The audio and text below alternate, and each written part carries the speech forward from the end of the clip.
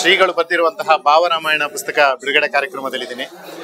ರಾಮಾಯಣದ ಬಗ್ಗೆ ಹೇಳೋದಾದ್ರೆ, ಭಾರತದ ಒಂದು ಮಹಾಕಾವ್ಯ, ಕಾಲದಿಂದ ಕಾಲಕ್ಕೆ ಹಲವಾರು ಲೇಖಕರ ಅಥವಾ ಹಲವಾರು ಜ್ಞಾನಿಗಳ ಕೈಗೆ ಸಿಕ್ಕು. ಬೇರೆ ಬೇರೆ ರೂಪದಲ್ಲಿ ಬೇರೆ ಬೇರೆ ರೀತಿಯಲ್ಲಿ ಜನರ ಮುಂದೆ ಬಂದಿದೆ.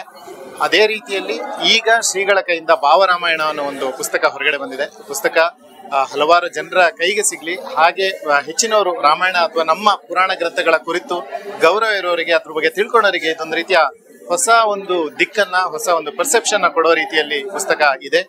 ಖಂಡಿತ ಈ ಪುಸ್ತಕವನ್ನ ಪ್ರತಿಯೊಬ್ಬರು ಕೊಂಡು ಓದಬೇಕು. ಅದರಲ್ಲೂ ಇಂಥ ಒಂದು ಕೆಲಸಕ್ಕೆ ಶ್ರೀಗಳು ಕೈ ಹಾಕಿರೋದು ತುಂಬಾ ಒಂದು ಖುಷಿಯ ವಿಚಾರ.